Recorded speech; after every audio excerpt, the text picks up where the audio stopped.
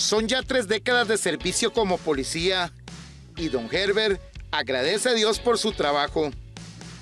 Ahora su experiencia y sabiduría la transmite a los demás. Orgulloso de ser policía. Principalmente vocación y servicio porque tenemos que darlo todo, hasta nuestra propia vida, por defender a todos los habitantes de este país y hasta los propios compañeros de nuestra propia vida.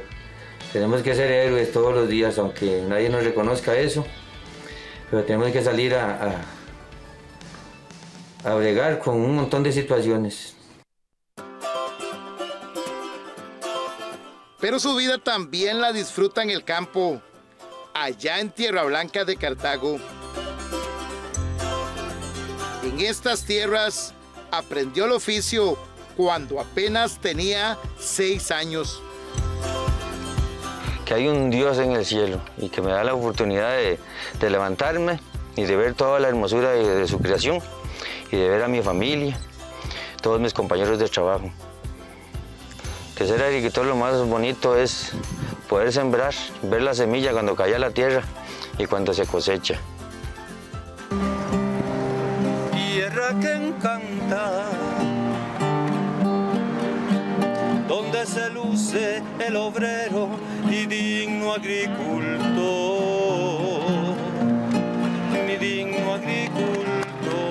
Él es sencillo, es humilde y elegante, un caballero es todo un gran señor.